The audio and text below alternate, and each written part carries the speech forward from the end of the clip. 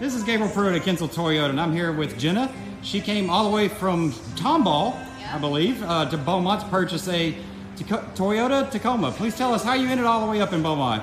I was having some issues with some of the Toyota dealerships in the Houston area, so I came out to Kinsel and they got me all taken care of. We had no issues, and everybody was real helpful, really kind.